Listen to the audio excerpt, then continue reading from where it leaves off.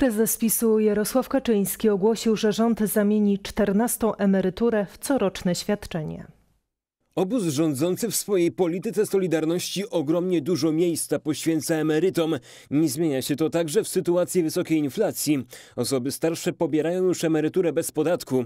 Wobec wzrostu cen nie zrezygnowano też z wypłaty ani 13, ani 14 emerytury. 14 w tym roku wypłacono we wrześniu. Łącznie dodatkowe środki sięgające blisko 11,5 miliarda złotych trafiły do 9 milionów osób. Czternastkę chcemy zmienić trwałe świadczenie, nie takie jednoroczne, jak było początkowo planowane, tylko trwałe. Co roku będzie czternastka. Taka deklaracja padła z ust prezesa PiSu Jarosława Kaczyńskiego w Kołobrzegu. W przypadku 14 emerytury pełne świadczenie wynosi 1218 zł na rękę. Korzystały na nim osoby, których comiesięczna emerytura nie przekraczała 2900 zł brutto. Powyżej tego limitu obowiązywała do tej pory zasada złotówka za złotówkę. Wobec wysokiej inflacji seniorzy czekają też na marcową waloryzację. Będzie wysoka. Świadczenia emerytów i rencistów wzrosną o około 14%, wynika z wyliczeń resortu rodziny i polityki społecznej.